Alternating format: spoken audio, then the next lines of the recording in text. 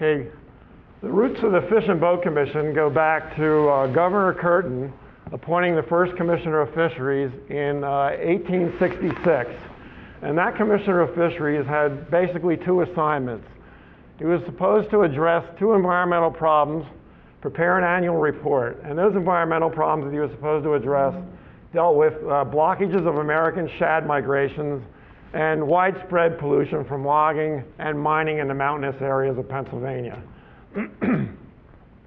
but also at the same time, there was just the beginnings of a conservation movement in this country, and, we, and, the, and the commissioner was well aware of that fact. In 1873, the Pennsylvania Fish Commission was created to encourage fisheries restoration. Three commissioners were appointed, and in their first annual report, uh, they stated, quote, the large number of streams running through our state have become so depopulated of fishes by pollution and persistent wanton slaughter as to render them almost valueless to the people as a source of food. And the legislature viewed fishing as a citizen's right to harvest a food supply. So the point there is that whether or not you think about it in those terms today, trout were considered a food supply for the people of Pennsylvania. Well, at that point, and because of that, the Fish Commission found itself in the position of having to be sympathetic to both the citizens' needs while being responsive to a growing conservation ethic. And the Fish Commission recognized that wanton exploitation of the resource was not sustainable and made rudimentary attempts at restoration through stocking and also reductions of illegal take. And the illegal take in those days wasn't a case of taking one or two fish over the creel limit or violating a size limit. There were no and in fact, the way the illegal take was occurring through the use was through the, large of, the use of large nets, often TNT and also dynamite. Well, as I mentioned, restoration and stocking went hand in hand at that time. And in 1873, in order to, begin a stocking program, the Fish and Boat Commission, or Fish Commission established its first hatchery at Donegal Springs in Lancaster County. In 1876, the Corry hatchery was established. And to give you an idea when certain fish species appeared in Pennsylvania, certain salmonids, 10,000 brown trout eggs arrived from Germany in 1886. So that appears to be the first arrival of brown trout in Pennsylvania. In 1883, the Lehigh hatchery opened, and for people from southeastern Pennsylvania, they would know that as the Little Lehigh facility now. And in 1885, the Erie hatchery opened, and a few years later, we learned that the rainbow trout were stocked in the Susquehanna River. So that seems to be the appearance of rainbow trout in the state. Fry and fingerlings were stocked throughout the state, primarily brook trout, by the use of the railroad, and horse and buggy, horse and wagon. They were nearly every county was stocked with brook trout, even Philadelphia. And how much these fish contributed to the present day populations or the genetics of wild populations that we have today is a question. But in a, in a fish culture environment, it's likely that uh, many of those fish that were stocked in those days were not uh, had not been genetically modified to the extent that we see today, and they could have even been wild fish that were being used in that environment back in that time. In the 1888 Commissioner's Report, it's reported that hundreds of depleted streams have been restored. Well, they've been stocked, but we don't know how many fish have survived. And little was done at that time to address pollution or habitat loss. With respect to law enforcement, in 1909, the first law regarding pollution was passed and made it illegal to discharge wastes that are deleterious to fish. Unfortunately, it wasn't until 1915 until the wardens were finally able to enforce, were given the opportunity to enforce uh, those laws, anti-pollution laws, and enforce the few other laws that existed that pertained to fishing. Those laws in- included gear types, seasons, and there was a prohibition on Sunday fishing. They were enforcing that law as well. Now we moved to the middle years, or what I call the middle years, and we start in 1924. That's when you see the first trout creel limit in Pennsylvania, which is 25 fish per day. Prior to that, there was no creel limit, and in the 1924 summary of fishing laws shown here, it also uh, lists a six-inch size limit. The Fish Commission recognized that harvests could limit natural resources, so at least there was a creel limit. Also, there was the realization that there was a need for redistribution of the harvest among anglers and realized that, recognized that stocking legal-sized trout could supplement or replace wild trout, legal-sized trout in those days being six inches. At this point, I'm going to show you a chart that depicts the, the, uh, the evolution of the creel limits in Pennsylvania rather than describing describing as we go through time chronologically. So in 1924, there's a 25 fish creel limit. By 1936, it's declined or dropped down to 15. That's because we got into the, into the um, um, problems economically, the Great Depression, and the commissioners wanted to redistribute the catch among more families in Pennsylvania so you have more, more of a food supply. We get to 1952, and the creel limit has dropped eight, and many of us can remember when there was an eight fish creel limit. And then, about 48 years later, the creel limit drops to five. We don't know what impact that had on wild trout fishing, but was, from the stock trout fishery standpoint, the drop in the creel limit from eight to five, based on creel surveys, resulted in about a 10% reduction in the daily harvest of stock trout in Pennsylvania. In 1929, the governor reported to the legislature that streams are overloaded with poisonous matter. So you can see the streams haven't improved very much by 1929. In 1937, the Pennsylvania Clean Streams Law was passed, and in the introduction it says, the law is passed to preserve and improve the purity of the waters of the Commonwealth for the protection of public health, animal and aquatic life, and for industrial consumption and recreation. So the concern wasn't just for wildlife and fisheries, the concern was for the public as well, both from a public health standpoint and for utilization of water for industry, clean water for industry. In 1948, the Federal Water Pollution Control Act was passed, and it was the first major U.S. law to address water pollution. This is probably the law that uh, was established that made sewage treatment plants, or made the construction of sewage treatment plants and the technology used at that time uh, that technology was, was uh, primary, primary treatment, and primary treatment was introduced into the sewage treatment plants at that time. Um, what's shown here, though, is ongoing, or I shouldn't say ongoing, but a recent uh, raw sewage pollution in the Lackawanna River, which is a wild trout stream. So while we had these laws, uh, some of these, these problems still continue today. What I consider the birth of direct wild trout management in Pennsylvania was occurred in 1969 when the Wilderness Trout Program was established. And I credit Rick Hoopes and Bruce Hollender. Bruce Hollender was the former area fisheries manager for north central Pennsylvania with really driving this. And he's here today. Uh, that program was implemented after biological surveys of these streams were conducted. And over time, five management guidelines evolved. And those guidelines were that road access had to be no more than one access point every two miles, that streams had to be at least two miles long or at least a mile from a nearest access point. Reproduction had to be adequate to support a fishery. No brown trout introductions could occur over wild brook trout, and the streams have to be open to the public. In addition to that, there's no biomass requirement for a stream to be in this program, so there's a multitude of biomasses that exist in these streams. In 19, from 1969 to 1972, Ralph Abele, who became our executive director in 1972, was instrumental in the development and passage of Article 1, Section 27 of the Pennsylvania Constitution. It's the Environmental Rights Amendment. This very important amendment is probably an amendment that maybe half of you or some percentage of you have never seen or read. And I'd like to read it to you, especially since you can't see it, I think, from the back of the room. Is that correct? You can't see it in quotes back there? It states that the people have a right to clean air, pure water, and to the preservation of the natural, scenic, historic, and aesthetic values of the environment. Pennsylvania's public natural resources are the common property of all the people including generations yet to come. As trustee of these resources, the Commonwealth shall conserve and maintain them for the benefit of all people. Now, in Commonwealth, there also means the agencies of the Commonwealth. And in July of 2017, this past July, this amendment was validated by the Pennsylvania Supreme Court, which in a majority opinion stated that the Commonwealth is not just a proprietor of these resources, it's not a proprietor, it's a trustee. We're supposed to care for those resources for future generations.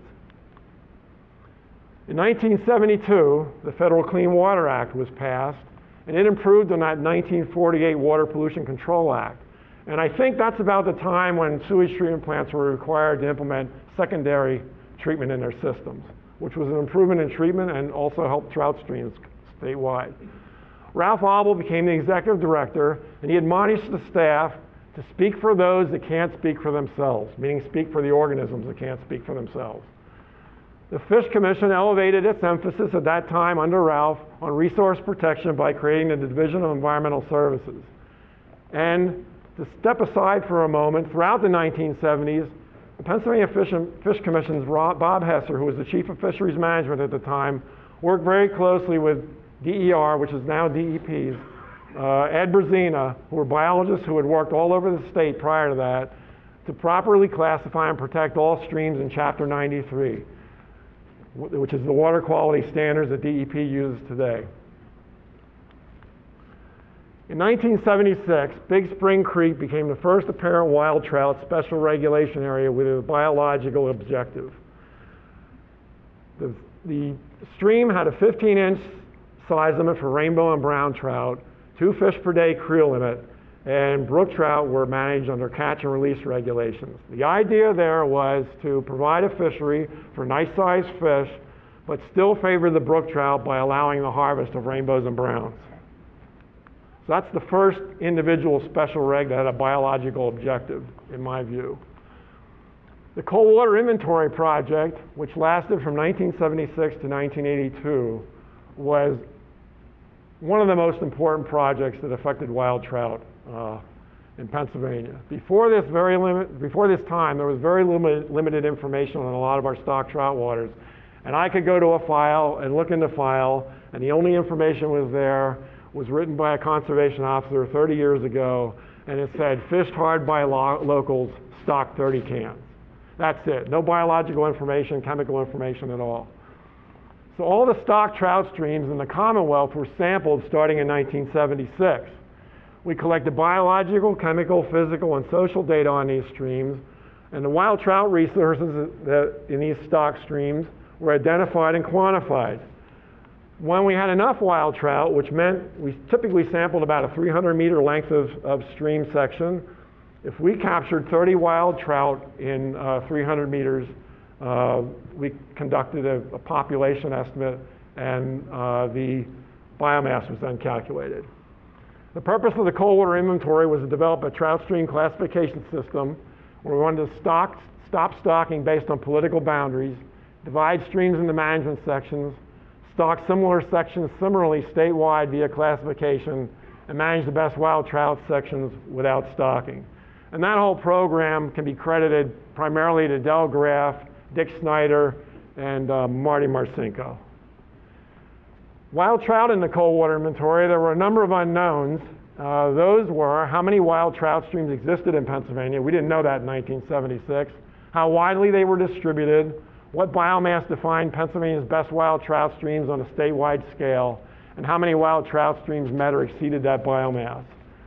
Unknown was, however, that removing wild trout sections from the stocking would be quite challenging to the agency. In 1981, the Fish Commission approved the policy for the conservation and management of resources. This was Operation and it was an acronym for fisheries utilization through user and resource evaluation. Later, the PFBC motto became resource first, and, and was adopted under that program and evolved into a slogan and then into a philosophy agency. The most pertinent aspects related to wild trout were one, Manage wild fish as renewable natural resources that are to be conserved. Renewable, however, implied sustained yield, not necessarily catch and release. And conserved meant widely, wisely used. The second part of the policy with respect to wild trout was to stock fish where wild trout populations are inadequate to sustain fisheries at desired levels. It didn't say do not stock over any wild trout. In 1983, management by classification began. Wild trout biomass classifications were developed in 1982, implemented in 1983. Class A, B, C, and D were the biomass classifications. Class A's met a certain biomass requirement.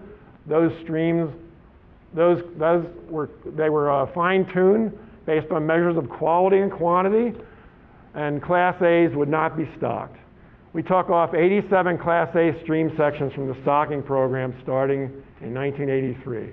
Can you imagine the reaction? Okay, in 1983, we also raised the trout size limit from 6 to 7 inches. The purpose was to protect older and faster growing wild brook trout for another year of growth. And the Trophy Trout Program was created, and that program was targeting brown trout, and in my view was the first biologically based special regulation program for wild trout that we had in Pennsylvania. 1995, we created a selective harvest program that had a, a uh, artificial lures only, two fish per day creel limit, nine inch size limit for uh, brook trout, and a limit for brown trout. And then from 1997 through 2006, we had a number of special regs streams that we started to allow bait fishing in. Bait became legal. And in 1997, the all tackle option was added to the trophy trout program. In 99, I went to the selective harvest program, and in 2006, we started allowing bait fishing in certain catch and release areas. In the 1990s, Leroy Young from the Pennsylvania Fish and Boat Commission led a multi-state stream flow study, and what that did was allow the agency and other agencies to allocate uh, water resources based on the abundance of wild trout in these streams. That, the model that was developed estimates habitat loss associated with various withdrawal amounts and habitat protection criteria then linked to the Fish and Boat Commission's biomass classes. In the 1990s and 2000s, uh, there was a lot of habitat improvement work that took place around the state. Many dam removals, we're up to about 300 dam removals now in the past 20 years. Some of those have benefited wild trout streams.